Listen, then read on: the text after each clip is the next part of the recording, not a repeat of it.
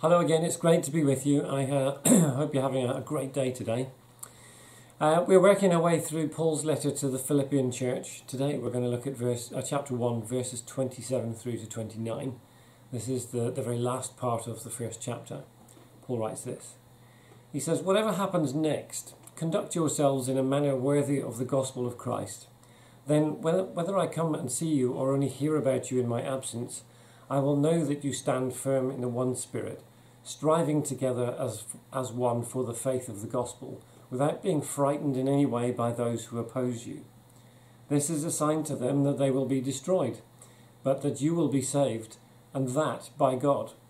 For it has been granted to you on behalf of Christ not only to believe in him, but also to suffer for him, since you're going through the same struggle you saw I had, and now hear that I still have.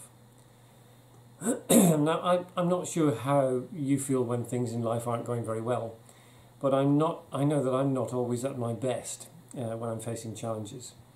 And when I say I'm not at my best, I mean that my behaviour isn't always as Christ-like as perhaps it could be. You can interpret that for yourselves.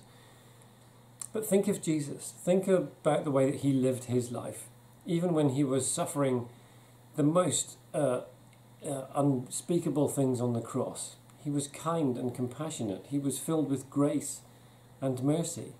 He asked God to forgive those who were persecuting him, putting him to death. He ministered to one of the others who was being executed next to him. He thought about his mother's care and those who'd been closest to him. For Jesus and for Paul, it was never about them, it was always about other people. It was always about love and grace and not about personal welfare or, or personal gain.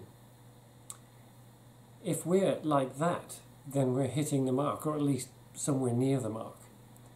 Love and an attitude of love doesn't crumble under the weight of suffering in whatever form that might come. If anything, it grows stronger and deeper because we stand in it with the one who endured the most for us. We stand in it with the one who not only endured death on the cross, but also endured hell for three days before his resurrection. We will never have to do that.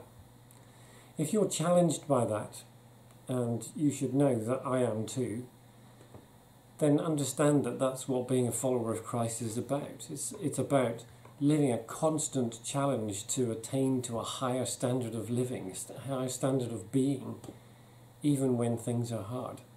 And it's not easy. It's never been easy. Jesus told us it wasn't going to be easy. That's why he said, You want to follow me, take up your cross and walk. Let's pray. Lord God, would you bless us with the strength to overcome in times of difficulty? Bless us to know you in our times of abundance and even more in our times of suffering and struggle. Strengthen us to live for you in all things and to be witnesses to those who have not yet met you. We ask you, Lord, for this strength in the name of Jesus and for his glory. Amen. Have a great day.